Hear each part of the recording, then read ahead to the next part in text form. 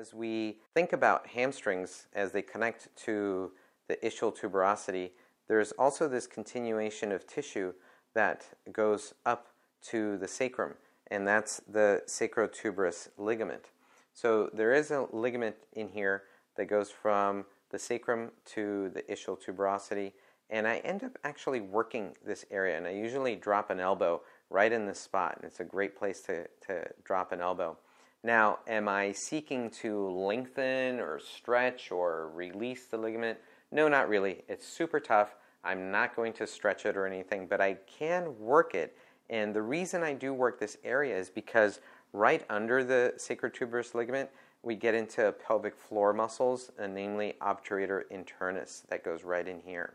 So what I'll do is first locate the sacrotuberous ligament territory. And uh, one way to do that is to put your hand on the sacrum and your thumb right at the tip of the ischial tuberosity. And that path of my thumb there is the path of the sacrotuberous ligament.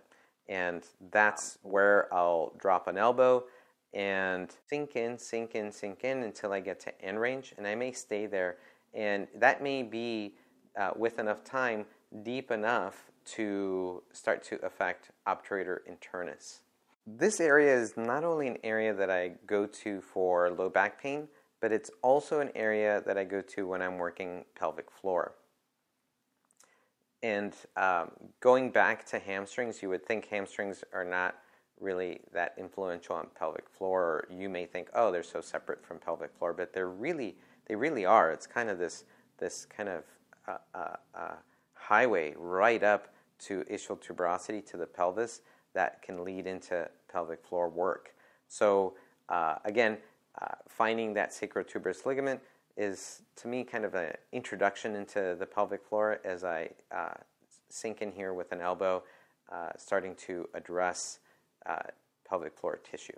So again, find that sacrum, put your thumb on the ischial tuberosity, and there you'll have the path of the sacrotuberous ligament.